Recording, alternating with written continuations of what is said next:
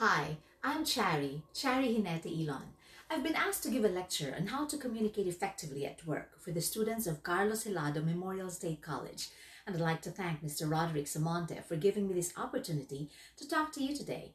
I was told this lecture series is for BS Industrial Tech students who will have their internship next year. Good luck to you guys! You've probably heard the saying, you can have brilliant ideas, but if you can't get them across, your ideas won't get to you anywhere. So it's important to know how to relay your message in the workplace, or for that matter, wherever you are. If you can't communicate clearly, it doesn't matter what your vision, mission, or direction is. You've got to connect with people and communicate effectively. Come to think of it, who doesn't want to communicate effectively?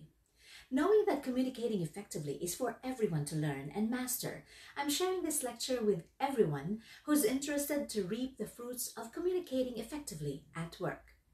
In communicating, shall we say, is it only through words or actions, or both? Is it just verbal or nonverbal communication? Which one is more important at work? How do you communicate well in the first place? Is there a hard and fast rule at communicating effectively? I bet these questions are running through your thoughts right now. Or you can even say, I'm already good at communicating. I communicate well enough. I should be fine. Hmm. Are you sure about that? To fully appreciate the value of communicating effectively at work, allow me to begin with why. Why do you need to communicate effectively in the first place? Not only at work, but even in our personal dealings. Just let me put it this way communicating effectively would bring you astounding success, not only in the workplace, but in your personal life as well. Good communication plays an essential role on how you advance in life, but you must understand that communicating is not just about talking or writing, it's also about listening. Let me put this this way the true meaning of communicating is to understand and be understood. Being able to communicate effectively is perhaps the most important of all life skills. It is what enables us to pass information to other people and to understand what is said to us, which is very important at living. So, why is it important? Perhaps you know hundreds of reasons, but I'll give you the top two. First, it is important because it builds trust. Effective communication fosters trust with others. Your ability to listen attentively and embrace different points of view gives you more wisdom and helps you grow. Also, your ability to convey your thoughts and your ideas fluently and effectively portrays you as a capable individual. It will make your peers, your colleagues, and even your boss trust you. If you can communicate effectively, you can definitely do more. Conversely, if you cannot communicate effectively and if you can't be trusted to communicate well enough, how else would you be trusted with other responsibilities? Second, effective communication improves relationships, both with your colleagues at work and family members, and friends and acquaintances in your personal life. Listening carefully and offering quality feedback helps people to feel heard and understood. This, in turn, nurtures mutual respect. Communicating comprises listening, ensuring others get your point, and persuading them to take action on what you're saying. But of course, you've got to listen too when others shares their ideas. In his book, The Power of Effective Communication, Brian Tracy outlines some of the benefits you'll enjoy when you have developed your power to communicate effectively. Let me share them with you. You will feel comfortable and confident whenever you're put on the spot. Whether you're going to talk, to present, to answer a question, whether it's around the water cooler, in a meeting, or on stage, wherever you are, you'd be comfortable. You can easily make a successful, lasting, and positive impression whenever you speak to someone, whether your goal is to educate, entertain, persuade, or inspire you would earn more respect from the people around you, from your boss to your friends. And listen to this one. You will find it easier than ever to get what you want. That is true. You will find it easier than ever to get what you want if you can relay your ideas. You can also get the recognition you deserve and climb the corporate ladder more quickly and efficiently. When you have developed the power to communicate effectively, you can develop stronger relationships that would buoy you to the top as you pursue your goals. You can increase your efficiency, earn more money in less time, and have more freedom to do the things you love. You would also influence the people you talk to, whether you want them to take action or adapt to your way of thinking. Isn't it just awesome? Now that we have established why it's important to communicate effectively, remember that effective communication involves knowing how to listen attentively. It is the ability to offer empathy, open mindedness, and helpful feedback based on what you hear. You don't need to give advice when someone tells you their problem or sometimes asks you something. You just listen and make sure that you've got it. And as a friendly demeanor, confidence, nonverbal, quality communication is important in any role that you play in an organization. We will get to this one as we move along in this lecture. Professionally, if you are applying for jobs or looking for a permanent work after internship, you need to demonstrate good communication skills, not just a time when you would present, but all the time. Hence, when you talk to someone, maintain eye contact. It would be rude not to look at someone whom you're talking to.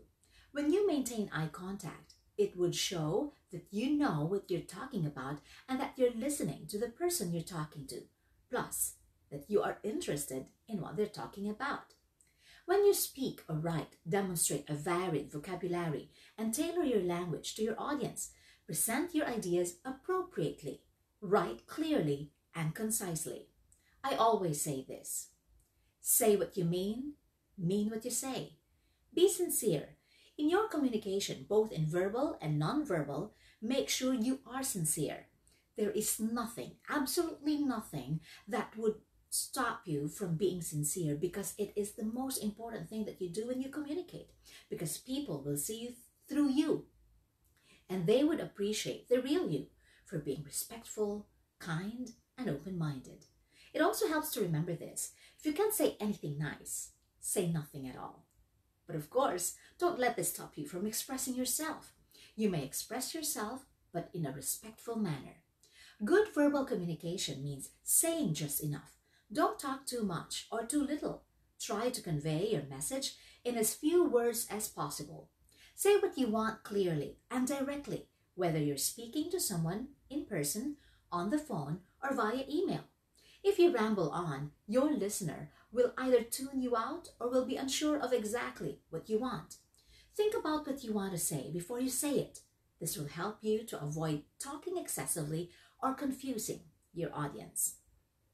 As your career progresses, the importance of communication skills also increases. The ability to speak, listen, question, and write with clarity and conciseness are essential to the growth of your career. So, also, pay attention to non-verbal signs. When we communicate with each other, we rarely use only words. Most of the time, we are using our body language, which includes gestures, facial expressions, voice tones, eye contact, posture, and even breathing to send our message. That's why we must learn to spot all these nonverbal signs and properly use them in order to send our message as accurately as possible.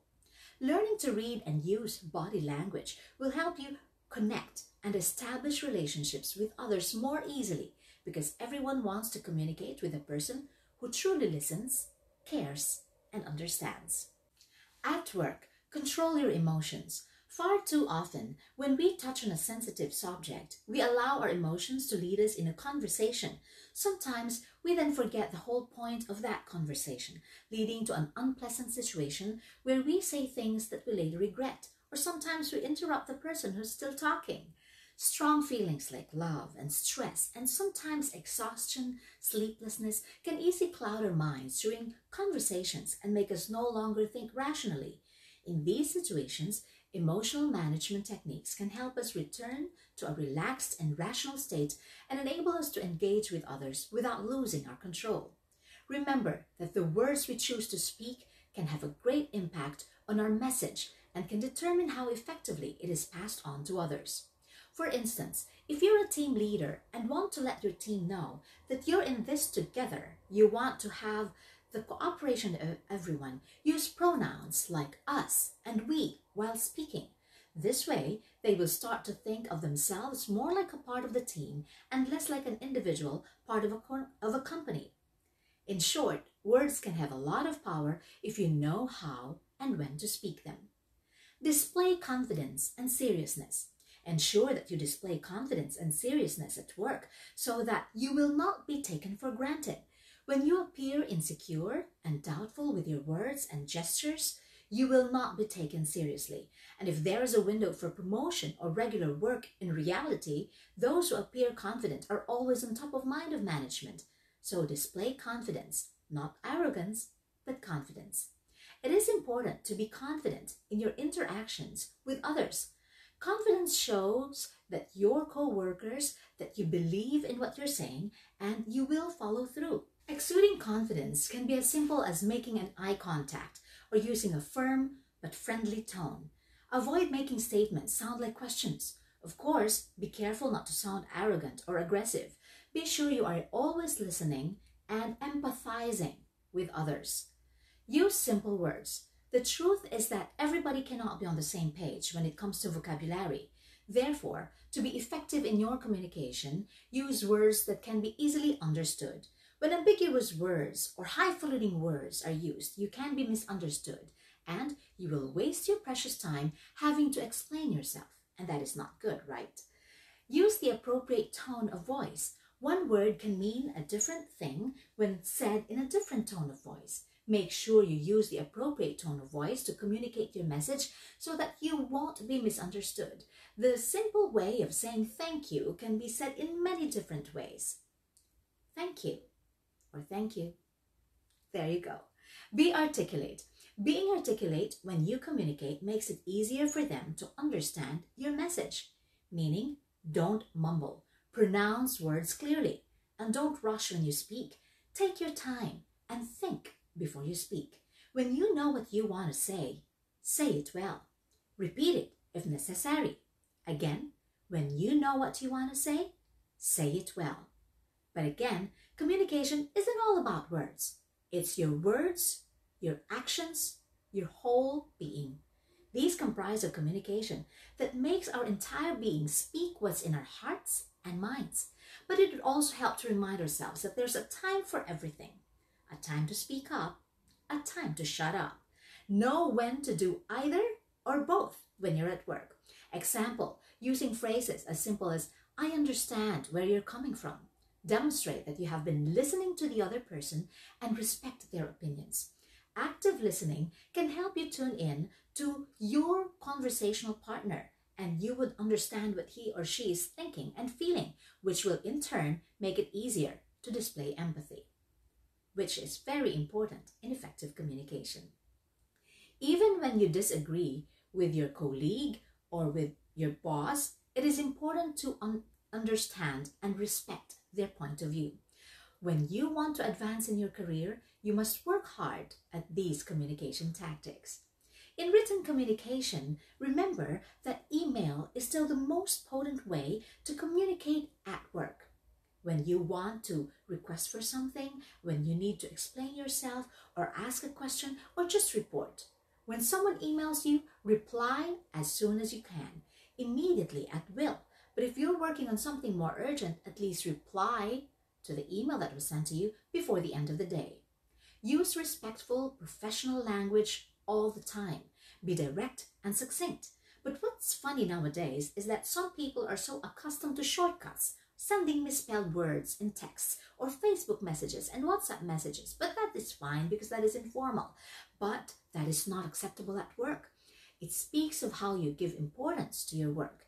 So in emails, be professional.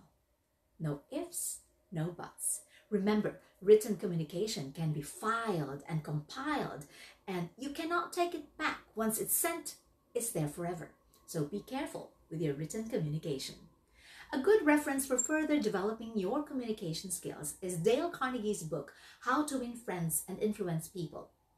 I always refer to this book, and this has been my reference since many, many years ago. Techniques in handling people. This is what I'm going to share with you from Dale Carnegie. Don't criticize, condemn, or complain in public. When you need to do that, do it in private. But give honest and sincere appreciation in public. Arouse the peer person or want in a person.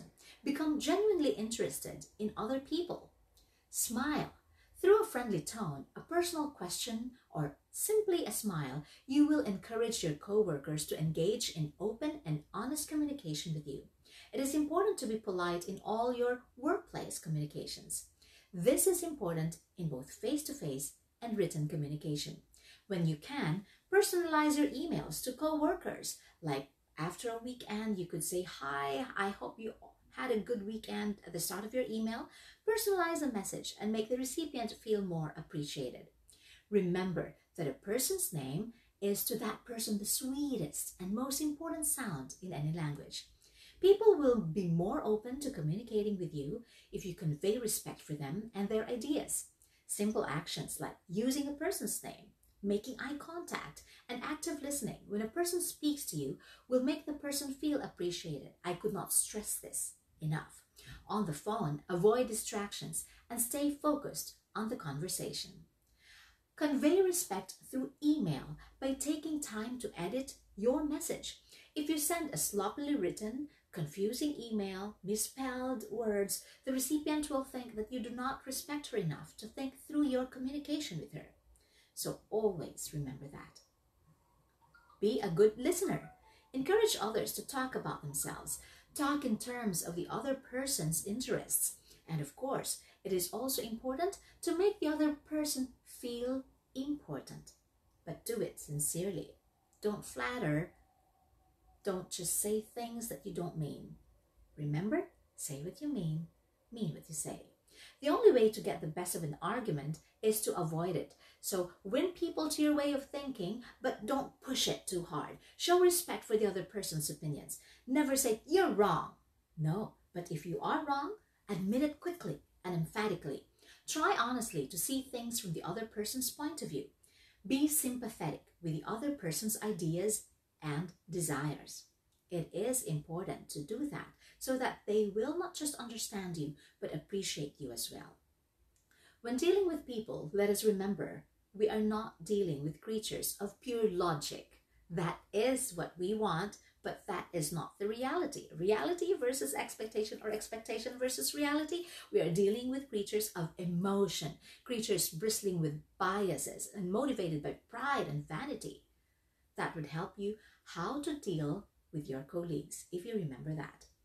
Finally, the key takeaways that I'd like to share with you are the five C's of effective communication. This is based on Cheryl Keith's article in Forbes Coaches. I like these since it's most relatable and applicable. You can make yourself a checklist when you practice communicating.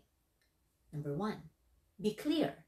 To communicate effectively, you have to know what you want and take ownership for your own needs. Before communicating your ideas, identify it and know what you want and need from the other person. When you experience an issue, try to get clarity on what the issue is and why it shows up for you. Do you feel disrespected and shut down when a colleague is not open to hearing your opinion in a meeting? Understand what value of yours isn't being honored and own it. It's your responsibility to initiate the tough conversation. But remember, always do it with respect. Communicate the issue directly without misinterpreting or reacting emotionally, judgmentally, or defensively. Take ownership of your experience and be transparent. Be as clear and objective as possible. Number two, be concise. Keep your requests direct, simple, and to the point. The less words, the better. Don't get caught up in the story. Focus on getting your point across in the most succinct manner and move the conversation forward. Number three, provide a compelling request. Once you make a request for change, you're in negotiations. After communicating the issue, provide the person with a suggested solution that you'd be happy if you feel, shall I say, if you feel that you were able to get your idea across. But if you feel shut down and dismissed in meetings, whenever you bring your idea of expertise into consideration, first ask the person if there's a deeper issue. Then ask how you might resolve it and make your request to be listened to in the future. Explain that it's just as important for you to express your opinion or expertise. Be involved in the conversation and share your thoughts on the topic to provide necessary feedback.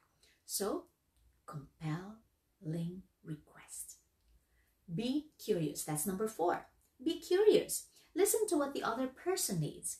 Once you make a request, be curious about the other person's issues and objectives and what they might need to fulfill your request. It's not all about you, remember. This is a two way process. Understand where the other person is coming from because they also have needs and issues that need to be addressed. Number five, be compassionate. Make an attempt to understand the other person. Listen carefully to their feedback and put your assumptions aside. When a person feels like they're being heard, they tend to open up more and feel safer and more secure in the conversation, which can lead to a more trusting relationship. Having the ability to understand, recognize, and appreciate the way others feel is crucial to resolving a conflict, managing change, and making tough decisions at the same time putting yourself out there. Strive to negotiate a win for both parties by taking the other person's perspective into consideration. Get a clear understanding of what it would be like and what it would take for both of you to get a positive outcome. Even if you're just an intern, you're not just an intern, you are working there. Dynamic communication is important and very important to develop in your effective communication. It is important to understand that communication is what builds bridges and connects people in a powerful way. When you're able to get your point across in an objective manner, others are more likely to open up, see your perspective, and negotiate with you, appreciate you, give you a break, give you more opportunities. Communication is the key to influencing others and creating powerful teams, relationships, and joint forces to achieve successful outcomes, especially when you are starting in your career, being interns You've got to put it yourself out there. Now, are you willing to do all these? If you do this, you'd get along well with others, you'd work well with others, and you'd live well with others. Remember, communication works for those who work at it. If you have questions, please feel free to send me a message on my Facebook page, It's Time with Shari.